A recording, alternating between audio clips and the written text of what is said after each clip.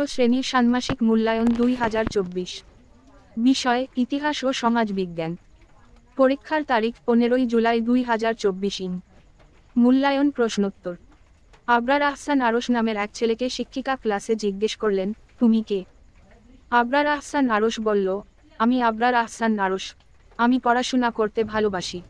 শিক্ষিকা আবার বললেন, তোমার স্বপ্ন কি? আবরার আহসান আরস একটু ভেবে বলল, আমি একজন বিজ্ঞানী হতে চাই। শিক্ষিকা মুচকি হেসে বললেন, তাহলে এখন বলো, তুমি কে?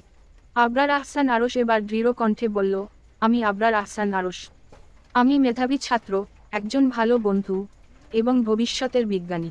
শিক্ষিকা প্রশংসার দৃষ্টিতে বললেন, তুমি সত্যিই নিজেকে চিনতে পেরেছ। কাজ শূন্য এক, আত্মপরিচয় কীভাবে লেখা যায়? তুমি কীভাবে তোমার আত্মপরিচয় লিখবে? কাজের ধরন একক। উত্তর, আত্মপরিচয়, আমি কে? এই প্রশ্নের উত্তরে যা খুঁজে পাওয়া যায় তাই ব্যক্তির আত্মপরিচয়। আত্মপরিচয় কেবল ব্যক্তির হয় এমন নয়, ব্যক্তির পাশাপাশি সমাজের, সম্প্রদায়ের, জাতির, রাষ্ট্রেরও আত্মপরিচয় আছে। ব্যক্তির চারিত্রিক বৈশিষ্ট্য দোষগুণ দক্ষতা, শখ ইত্যাদি সবকিছুই আত্মপরিচয়ের অন্তর্ভুক্ত। আত্মপরিচয় একদিনেই গড়ে ওঠে না, বরং ধারাবাহিক একটি প্রক্রিয়ার মাধ্যমে ব্যক্তির আত্মপরিচয় গড়ে ওঠে।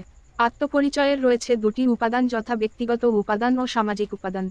ব্যক্তিগত উপাদানের মধ্যে রয়েছে ব্যক্তির নাম, লিঙ্গ, শারীরিক বৈশিষ্ট্য, গায়ের রং, উচ্চতা, নাক ও মুখের গড়ন, মাথার খুলির মাপ, চুলের ধরন ইত্যাদি, জন্মস্থান ইত্যাদি। অন্যদিকে সামাজিক উপাদানের মধ্যে রয়েছে ব্যক্তির ধর্ম, পেশা ভাষা, বাচনভঙ্গি, শিক্ষা প্রতিষ্ঠান, আচার অনুষ্ঠান, জাতি, নাগরিকতা ইত্যাদি। কাজ শূন্য দুই বঙ্গবন্ধুর আত্মপরিচয় লেখো।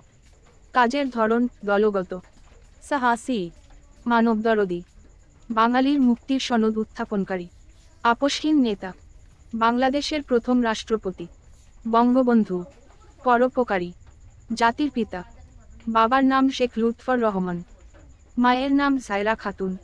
নিষ্ঠাবান। রাজনীতিবিদ। স্বাধীনতার অগ্রনায়ক। সর্বকালের সর্বশ্রেষ্ঠ বাঙালি। ভালো ব্রতচারী। জন্মস্থান টুঙ্গিপাড়া বংশের উপাধি শেখ। ডাক নাম খোকা।